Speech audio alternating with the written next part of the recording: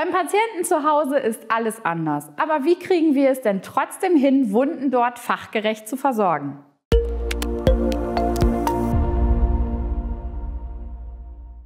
Hallo und herzlich willkommen zu unserer neuen Folge des Draco Videoblogs. Ich bin Jenny, ich bin eine der Moderatorinnen in der professionellen Wundversorgung bei Dr. Ausbüttel. In der heutigen Folge soll es um das Thema Wundversorgung zu Hause gehen.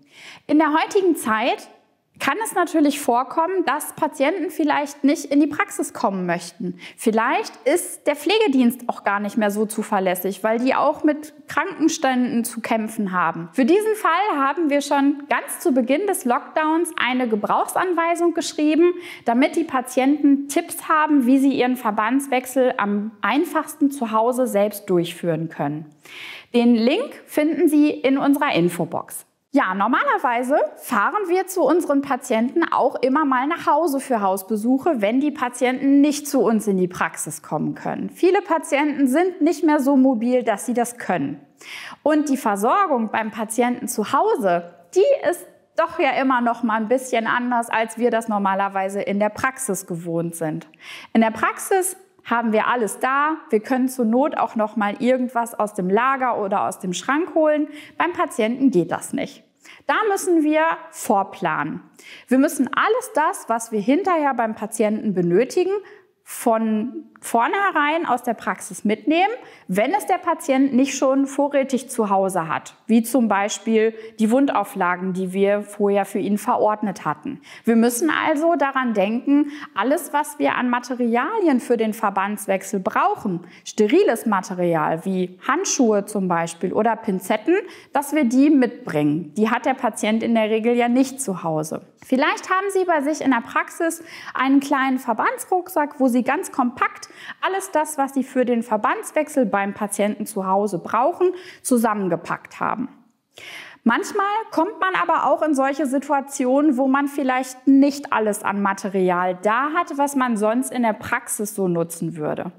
In dem Fall ist es wichtig, die bestmögliche hygienische Situation für den Verbandswechsel zu schaffen.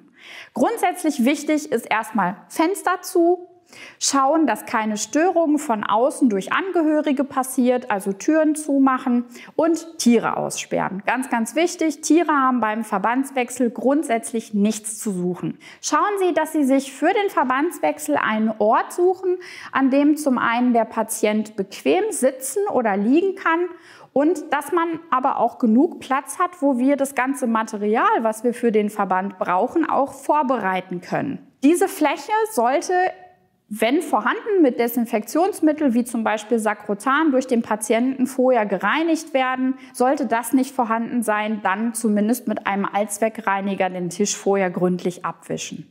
Ja, und wenn wir dann die bestmögliche hygienische Situation für uns geschaffen haben, dann ist das Durchführen des Verbands eigentlich genauso wie in der Praxis. Nutzen Sie beim Verbandswechsel die Materialien, die für Sie am einfachsten zu handeln sind, ob Sie lieber mit sterilen Handschuhen arbeiten oder aber mit Pinzetten arbeiten möchten. Das ist so ein bisschen Geschmackssache und was einem mehr liegt. Ich fasse das noch mal kurz zusammen. Beim Verbandswechsel zu Hause beim Patienten gibt es eben ein paar Dinge, die wir beachten müssen. Zum einen, Planung ist alles. Wir müssen alles das mitnehmen, was wir hinterher beim Patienten brauchen. Wenn wir beim Patienten sind, Fenster zu, Störungen vermeiden, Tiere raus und eben eine bestmögliche hygienische Umgebung für unseren Verbandswechsel schaffen. Danke, dass Sie auch heute wieder dabei waren. Wir würden uns sehr über Themenvorschläge für die kommenden Videos freuen. Nutzen Sie dafür gerne unsere E-Mail-Adresse unter videoblog.draco.de oder schreiben Sie uns einfach unten in die Kommentarfunktion. Ich hoffe, ich darf Sie auch in einem unserer nächsten Videos wieder begrüßen. Vielen Dank und bis bald.